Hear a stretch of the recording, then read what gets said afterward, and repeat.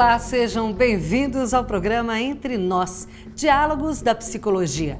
Entre Nós é um programa da TV CFP, a TV web da psicologia, que passa a ser mais um canal de comunicação entre a classe e o conselho, entre o psicólogo, a psicóloga e os clientes e pacientes de todos com a sociedade sempre teremos um capítulo inédito que pode ser construído com a sua participação, sugestão ou até mesmo indicação de temas de interesse profissional.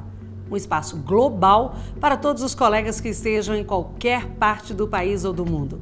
E no programa de hoje, nós vamos conhecer um pouco mais sobre as comissões temáticas do Conselho Federal de Psicologia. Elas atuam no cumprimento das diversas atividades de responsabilidade legal do CFP. E quem vai conversar com a gente sobre elas é a psicóloga e conselheira do CFP, Meire Nunes Viana. Mestre em políticas públicas, Meire também é especialista na abordagem gestáltica com crianças e adolescentes e ainda possui título profissional de especialista em psicologia clínica e psicologia escolar educacional. Bom, começar agradecendo a sua presença, Meire. Muito obrigada pela sua presença aqui hoje no programa Entre Nós. O prazer é todo meu de estar aqui nesse momento, né, que é um momento especial para o Conselho Federal de Psicologia, de estar compartilhando as informações sobre os nossos programas, nossos projetos. Ah, que bom. Vamos começar então falando já das comissões, como elas são criadas. Olha, as comissões elas são criadas tanto a partir de demandas surgidas da própria categoria dos psicólogos e muitas vezes emanente de, do, do próprio exercício profissional, como também são criadas a partir de temas e assuntos importantes para a sociedade brasileira. Né? Então, a partir do que vai surgindo como relevância, a gente vai destacando para pensar ações que envolvam a psicologia como ciência. Qual a principal função dessas comissões? Como elas, assim, elas são na prática? Olha, as comissões ela têm o, o papel de pensar é, o exercício profissional diante daquela, daquele assunto ou daquele tema que se coloca. Então, tanto ela se coloca como uma, um papel avaliativo da condição atual do exercício profissional, como propositivo, né, dos encaminhamentos, também auxilia a pensar é, novos projetos, novas é, oportunidades né, dentro daquele campo, daquela área ou daquela temática que a comissão se propõe. E, basicamente, ela vai é, caminhando no sentido de pensar é, eventuais propostas de transformação também que pode surgir na sociedade, pensar projetos de leis, pensar outras ações que possam ampliar ou modificar né, a configuração do que acontece dentro daquele campo que a comissão se propõe a estudar e a trabalhar. Você citou que elas são criadas a partir de demandas e, e projetos e até mesmo por atuação da uhum. sociedade, o que acontece na sociedade. E aí vocês criam as comissões. Como elas são constituídas? Como é que elas são pensadas e constituídas? Olha, as comissões, elas nascem dentro do próprio plenário inicialmente, né? Porque essas demandas chegam de alguma forma dentro do conjunto das ações desenvolvidas pelo Conselho, e aí algum conselheiro, né, algum membro da, da, do colegiado ampliado que atua dentro da gestão do conselho, se, se elege né, para ser é, mobilizador daquela comissão, e aí a comissão vai se estruturando, vão sendo convidados é, outros profissionais que dominam de alguma maneira a forma a, da a temática, área, aquela temática. área, ou atua, ou tem um conhecimento acadêmico, enfim, a gente vai agregando o maior número possível de participantes para que a gente consiga realmente, dentro das comissões, ter uma visão ampla, né, uma visão que dê conta da pluralidade da psicologia, que é a nossa nosso foco e a nossa realidade hoje. A gente também gosta de falar muito do diálogo, né? Que, é, que, que o CFP tá, quer com a categoria e vice-versa. Então, as comissões têm esse papel também de estar sempre bem próximo da ponta, levando para a categoria esses entendimentos. As comissões têm feito esse trabalho com as pontas, com a categoria?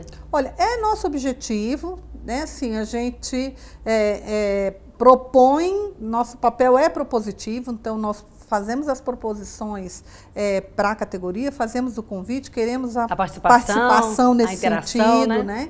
Então, assim, a gente tem hoje uma comissão que está já é bastante avançada, a gente está em processo de lançamento, vamos dizer, essa comissão? que é essa busca da do, do orientação para o exercício profissional, ah, né, o Centro de Orientação para o Exercício Eu Profissional. Sei. Que esse movimento é um movimento que vai ser privilegiado para esse papel da interação né, onde a gente vai buscar um canal realmente onde o psicólogo vai poder é, se manifestar diretamente ao Conselho Federal, dizer das suas necessidades, das suas, das suas ideias, das suas contribuições, né, porque eu acho que assim toda categoria tem propostas, tem sugestões e a gente também quer acolher e trabalhar. E é por meio dessa delas. comunicação que vai havendo Isso. mais interação, né? Com Exatamente. a abertura da participação deles com a comissão. Bom, Meire, vamos então ver agora uma matéria onde nós vamos mostrar o contexto geral do trabalho das comissões.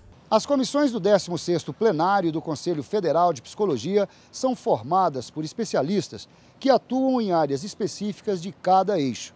Essas comissões possuem uma certa autonomia, mas sem perder o foco daquilo que está previamente definido no planejamento estratégico do Conselho. A Comissão Nacional de Psicologia na Assistência Social, por exemplo, foi criada em 2014 pelo Conselho Federal de Psicologia e visa fortalecer a atuação profissional da psicologia no Sistema Único de Assistência Social, o SUAS. Em 2014, a Comissão Nacional de Psicologia na Assistência Social, ela começou a funcionar em agosto. E as primeiras atividades foi uma composição de um núcleo executivo, gestor da comissão, e uma proposta de ações para 2015 e 2016. Nós apresentamos essa proposta no CBP, né, agora no mês de novembro. Estamos em discussão com essa proposta com a categoria e com os conselhos regionais. E para 2015 a gente tem algumas prioridades. Uma delas é uma pesquisa de condições e relações de trabalho do psicólogo no SUAS.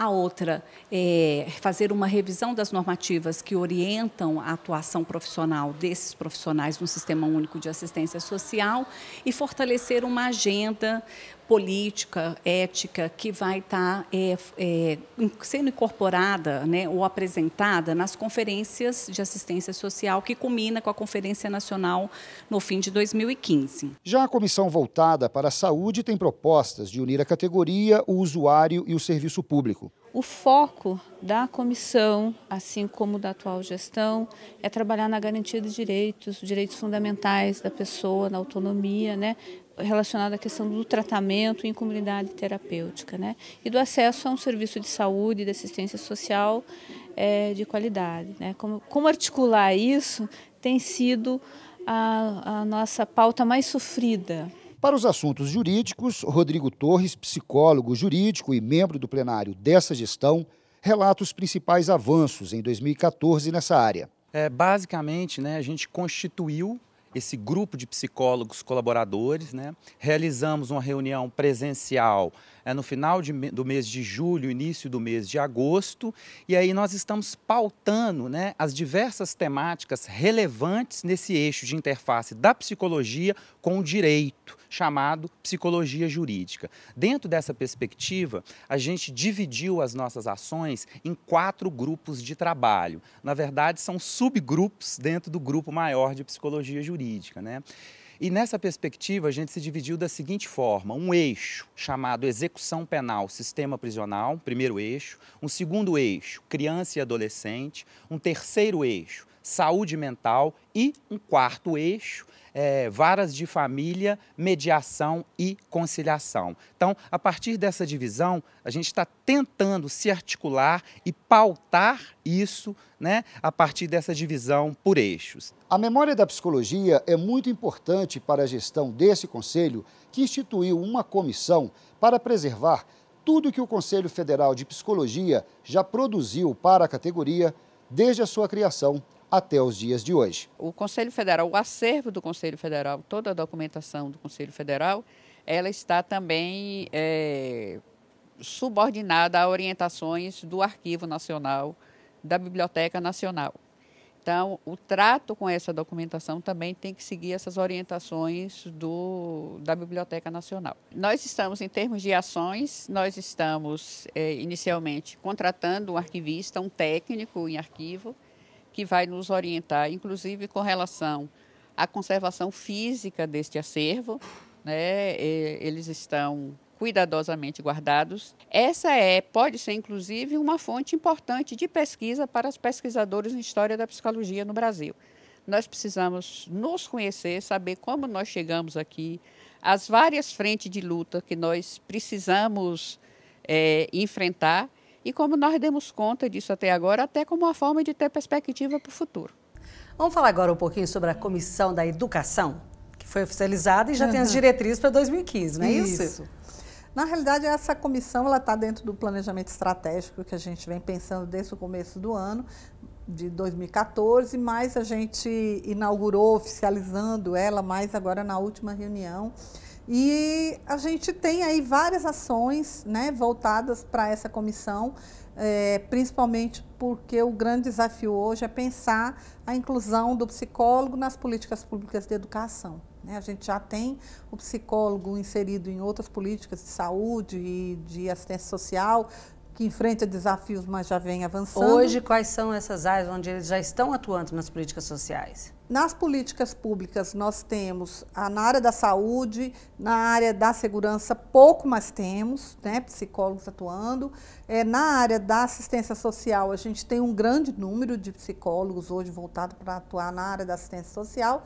E hoje, a nossa, assim, nosso empenho é realmente que o psicólogo conquiste é, esse lugar nas políticas públicas de educação. A gente sabe que a educação é um eixo importante dentro do processo da sociedade e a gente entende que a psicologia tem muito a contribuir né, nesse processo e nós queremos estar contribuindo e E o psicólogo, atuando. o colega que está nos assistindo agora, como é que ele pode interagir um pouco mais com o conselho em relação às comissões para ele participar um pouco mais e crescer dentro do processo da política pública? Olha, eu acho que ele pode tanto estar tá participando, enviando sugestões, ele também pode participar é, procurando o seu conselho regional também, né? Que tem a maior parte dos conselhos tem comissões é, pelas temáticas semelhantes a que nós temos no Conselho Federal. Então, é importante que lá no local ele também busque essa atuação é, junto ao seu Conselho Regional, mas ele tem um canal aberto de comunicação com o Conselho Federal e pode enviar suas sugestões, pode tentar é, um diálogo conosco diretamente também. Ah, isso é muito importante, né? Tanto que o Entre Nós é um caminho para a uhum. gente ter essa interação. Meire, muito obrigada pela sua participação, pela explanação sobre as comissões. Nós teremos mais oportunidades, obviamente acompanhando todos esses trabalhos que já estão desencadeados uhum. pelo CFP. Muito obrigada pela sua participação. Tá, muito obrigada a você. Então não se esqueça que este espaço é seu também. Envie sugestões de temas, dicas e eventos do setor em sua região pelo e-mail programaentrenós@cfp.org.br. Aproveite e se inscreva no nosso canal do YouTube. E para ficar sempre atualizado, é só curtir a nossa página no Facebook. Volte sempre aqui na nossa TV CFP e convide os colegas, amigos e clientes para conhecerem e compartilharem o nosso novo meio de comunicar. E lembre-se, a psicologia tem um conselho para você e é federal.